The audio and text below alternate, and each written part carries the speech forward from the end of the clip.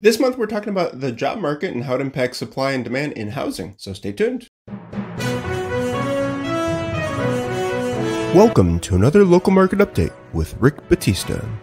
Welcome to another monthly market update, Chicago. Here we are in April, covering the month of March. So I just wanted to share something with you at the start of the video. If you go to our YouTube channel and you see we have market updates, uh, we have for specific areas uh, and the entire city of Chicago. Well, guess what? When we put out those monthly videos, it's the same video. However, there's a part later in the video where we share slides and data for that specific area. So if you're watching on YouTube right now and you check the caption out, you should be able to see the chapters listed. And just in case uh, you've already seen this video, uh, you you don't want to rewatch the entire thing, you can jump ahead to the to the area specific data and slides. So although we do service Chicagoland, Chicago proper, as well as surrounding suburbs, we put together videos and cover specific areas throughout Chicago proper. So let's get started with some fun facts and I'll share some insights with you as well before covering the numbers. Fun facts, fun facts, market time.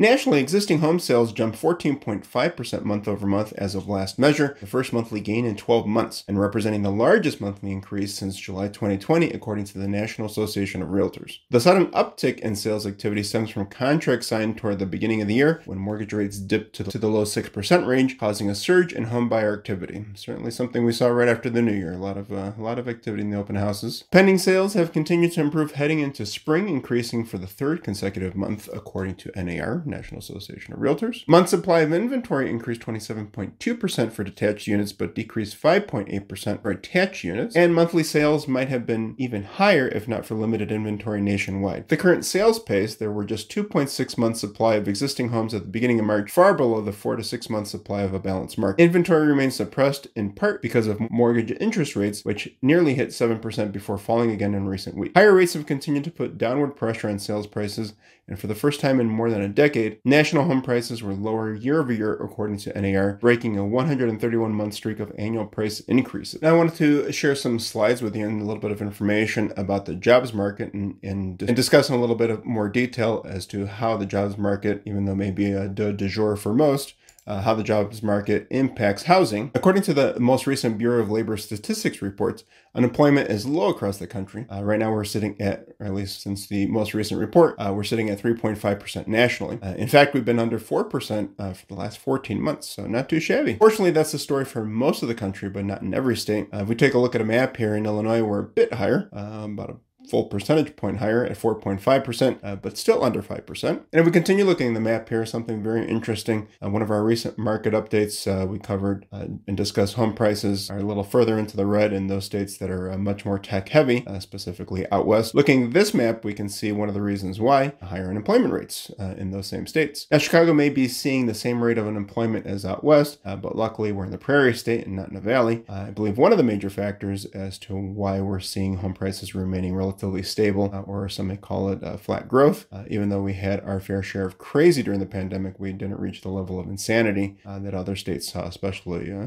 out west and in some of the southern states, you know, those warmer states that don't get, uh, that may not see snow right after hitting 80 degrees, as we did yesterday in Chicago. So as, as Chicago and Illinois came and continued to go through this year's market, we started off on a little less shaky ground. So I think that's a huge difference here. So the bottom line is that the data showing today that we have a resilient economy with a solid job market, which is good news for the housing market. Why? Although for many, it may feel like you have to choose between saving for a home and buying groceries. What our economic history shows us is that less unemployment, more people working, the more households that are seeing consistent and are growing monthly income uh, should keep demand high. Okay, so demand is high. Whoop-de-doo. Uh, what's going on with supply? Let's take a look at this chart comparing new listings for the month of March over the last several years. Uh, and what's so crucial about March? Asking some great questions today. Thank you so much. Well, what happens in March stays in March. No, no, silly. Historically, uh, March helps set the tone for the spring and summer market. And here, if we take a look at this chart, uh, the good news is that we certainly have more inventory last month than we were showing in 2021 and 2022. The not so good news is uh, that we're still lower than we were in pre-pandemic years, especially the amount uh, the amount needed to meet demand. Uh, and that's where and that's something that we've covered in recent uh, market update videos. Is that's why although there have been price adjustments downward in some states or very very flat in many others or slight increases in others, having that limited inventory or again we've dove deeper into this having lower quality inventory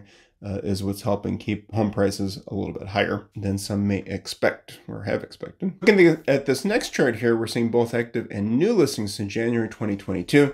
Uh, you see new listings peaked in June last year, right around the same time the rates, rates spiked up. Uh, we certainly saw those numbers go down since. Uh, however, they have been trending upward since the start of, of this year. And what happened that time? Uh, rates dipped down a little bit, giving hope to home buyers and sellers, uh, making attendance at open houses and offers in abundance once again. So certainly busy start of the year. And since then, we've been riding that emotional roller coaster that's called real estate and life, uh, and are looking forward to a solid spring and summer market. In fact, I'm not the only one that's being positive. according to Fannie Mae, 58% of those recently surveyed believe the market is still active and it's a good time to sell. You, the people who are paying attention to what's going on behind the scary headlines, uh, perhaps watching our videos here and staying informed, uh, at least locally, realize that that crash that was on the tongue of mainstream media's headlines has not transpired. And as of right now, it doesn't look like it's going to happen. So sorry, doom and gloomers. Overall, this seems to be a good amount of encouragement for buyers and sellers while taking into consideration that the market is still playing the balancing act and mortgage rates are still high uh, compared to where we were just a year ago. It would appear from the peak of uh, last June through February of this year Prices have already adjusted or bottomed out in many states uh, and or across the country. Uh, in fact, the median sales price is actually down 12% nationally. But overall, the data shows that people's paychecks are rising and going straight to the grocery stores. LOL. While taking all of that into consideration, housing affordability is getting better. Are we in a wonderful and ideal space? Absolutely not uh, we've got a ways to go. Again, the data is showing that we are digging ourselves out of the hole that we found ourselves in uh, late last year. So now it's time to wake up for the moment you've been waiting for. How did Chicago wrap up last month in March? Let's take a look, see, folks. But before that, suspense awaits. Uh, going to look at the lender mediated report right quick. Uh, this is covering uh, those properties, uh, you know, bank owned properties, foreclosed, REO, pre foreclosure, short sales, etc., etc., um, because that's part of been the, because this topic has certainly been part of the doom and gloomers, wonderful and scary headlines uh, you know, during the pandemic. As we've mentioned time and time again in our videos, there was a moratorium on foreclosures. Banks were trying to do everything possible to keep people in their homes. Uh, country was already going through enough, so we were bound to see those numbers go up uh, once once the air started to clear. But these numbers still aren't as scary as many people were anticipating. If you see here, we peaked in, in January at four percent while we were uh, staying below 3% the last, most of the last four months, after being uh, below 3%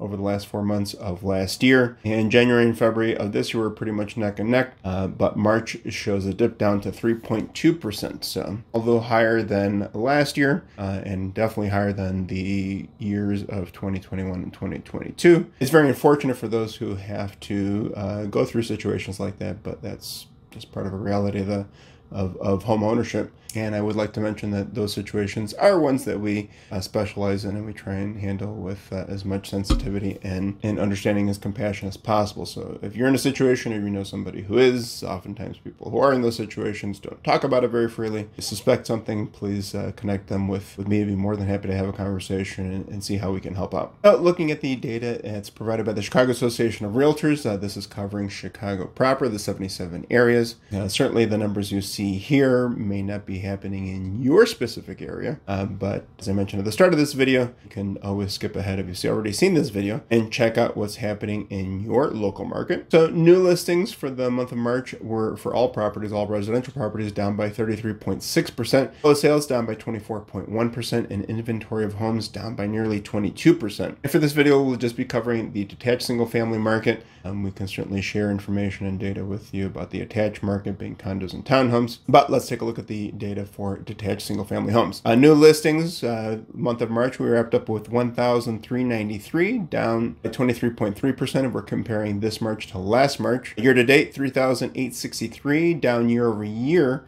11.8%. Under contract, comparing both Marches, 944 last month, down by 17.3%. Year to date, 2,271, down 22% year over year. Closed sales, 818, down by 14.5% versus March of 2022.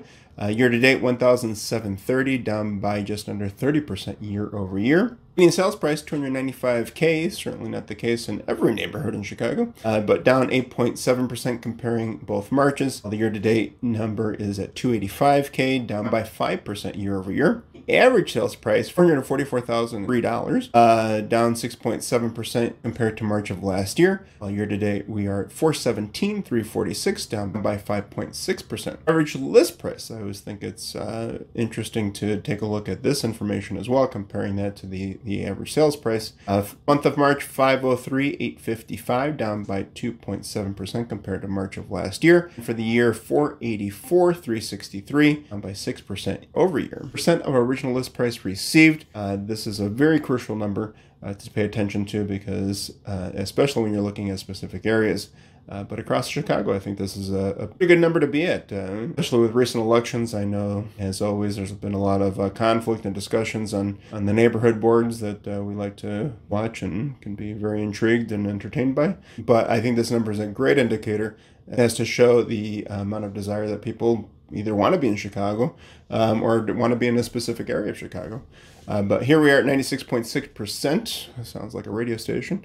Uh, for March of this year, down by 1.6% comparing uh, to last March. And for the year, still not too shabby, 95.5%.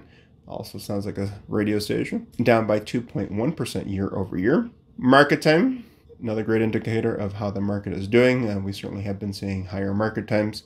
Uh, this is the average days that a, a property spends on the market. Uh, and that's directly tied into the percent of original list price received uh, because the better you price your home right out of the gate, chances are the less market time you're going to have. But here we are sitting at 84 days in the market on average uh, for Chicago, which is up compared to last March, 36.8%, and year to date, 83, up by 35.8% year over year. Inventory of homes for sale, we wrapped up the month of March with 2,091 up by 0.3% compared to March of 2022.